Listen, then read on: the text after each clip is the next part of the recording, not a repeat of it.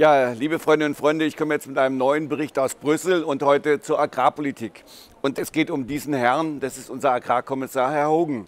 Herr Hogan hat in einem Interview gesagt, es, ihm sei gar nicht bekannt, dass es Kritik von Seiten der Umweltschützer an seinem Vorschlag zur Neugestaltung der gemeinsamen Agrarpolitik gebe. Äh, das hat mich ein wenig verwundert, muss ich sagen, weil alle Umweltverbände üben ganz scharfe Kritik an dieser neuen GAP, weil es in erster Linie wieder nur darum geht, Geld, Direktzahlungen pro Hektar zu verteilen und das Ganze in Sachen Umwelt, Klimaschutz eigentlich wieder nur ein wenig Beiprogramm ist und gar nicht zentraler Punkt einer neuen GAP-Reform.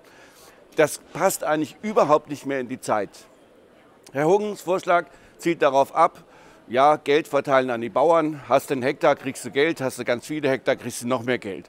Und ihm ist überhaupt nicht bewusst, dass es darum geht, das Geld tatsächlich für Leistungen zu bezahlen in Richtung Umweltmaßnahmen, für Klimaschutzmaßnahmen.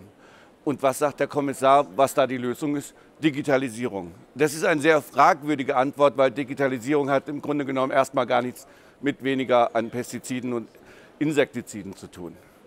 Wir sind gerade in den Verhandlungen zur neuen GAP mit den anderen Fraktionen. Sehr, sehr harte, sehr zähe Verhandlungen. Und ich kann nur sagen, da sieht man, dass die Konservativen eigentlich nur in die Richtung gehen, das Geld muss an die Bauern verteilt werden und Umweltauflagen sind eher wettbewerbsverzerrend.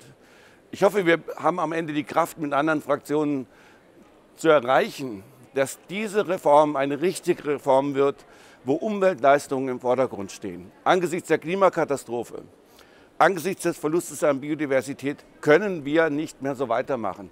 Und deshalb auch mein Appell, für den Europawahlkampf. Nehmt das Thema neue Agrarpolitik ganz zentral wichtig, denn das ist eine Zukunftsentscheidung für Europa. Bis zum nächsten Mal, euer Martin.